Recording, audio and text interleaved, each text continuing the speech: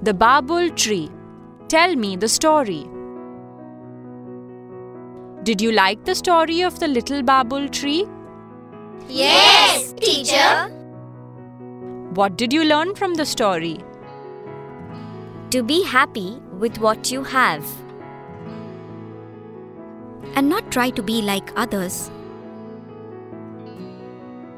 We are all different from each other, and that's what makes us special. So we should like ourselves as we are. And we should like others for what they are. Very good, children. You have got the point of the story.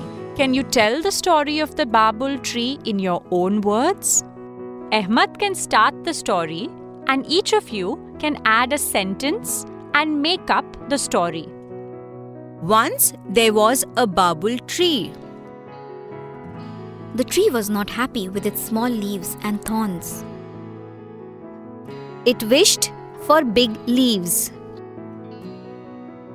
The next day, the babul tree had big leaves. But a goat came and ate up all its leaves. The tree now wished for gold leaves. The next day, the tree had gold leaves.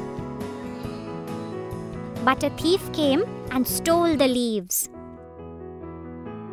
So the tree wished for glass leaves. The next day, the tree had glass leaves. They shone in the sun. But the wind blew them all down.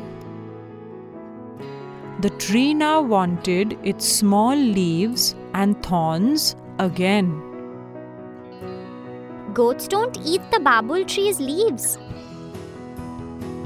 Thieves don't steal them.